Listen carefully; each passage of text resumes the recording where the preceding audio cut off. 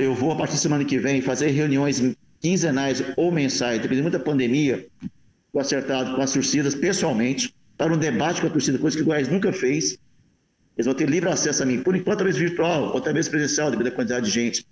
Um debate bem um debate bem profissional, um debate de, de ideias, eu mostrar os números do, do, do clube, dar uma transparência para o clube. Então, eu quero me aproximar muito do, da torcida. Sei que eu vou apanhar demais, como então, estou apanhando muito, mas a minha gestão, para falar a verdade, começou ontem, na verdade. E até então eu vim e vim apagar incêndio. Então, o futuro é complicado? É. Mas eu vi o desafio, eu sou aqui só por desafio, só pelo clube e pela torcida. Eu quero resgatar esse orgulho de ser Goiás, eu quero resgatar as vitórias, os títulos, como disse na vez passada.